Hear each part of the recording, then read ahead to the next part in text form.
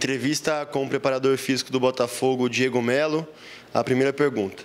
Professor, até o jogo contra o São José serão praticamente 13 dias de treino, contando o início dessa semana.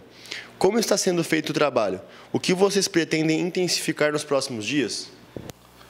É um prazer estar falando com vocês. Nosso trabalho iniciou com as avaliações clínicas, as avaliações físicas, né? Toda com suporte da parte médica, da parte fisioterápica.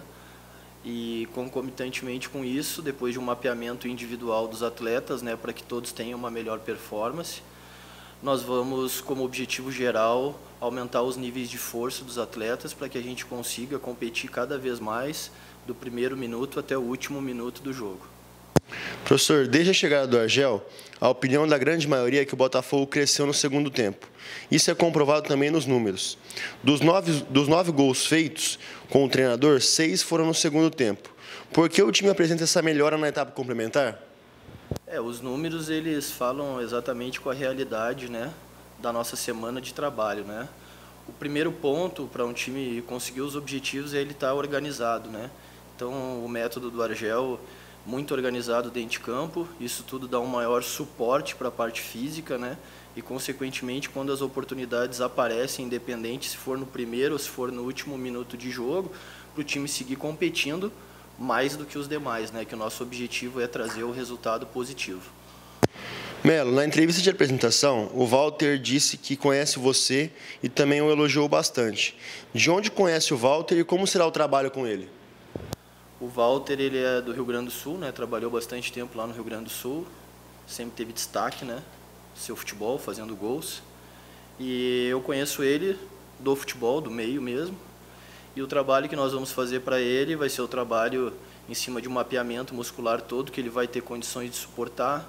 Nós temos todo o suporte aqui da parte da nutrição, da parte da fisioterapia, da parte médica, para que ele consiga ter a sua melhor performance aqui e competindo durante todas as partidas. O trabalho com o Walter vai ser muito próximo com o que eu cheguei aqui no clube e recebi, né? Tinha alguns jogadores com um percentual de gordura acima do, do aceitável atleticamente, né?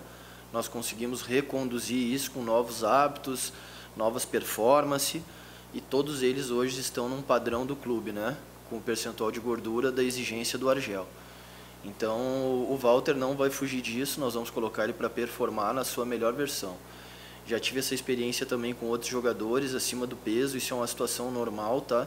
Nada disso foge da nossa realidade. O mais importante é que eles rendam dentro de campo. Professor, o clube apresenta um baixo número de lesões, principalmente após a sua chegada no clube.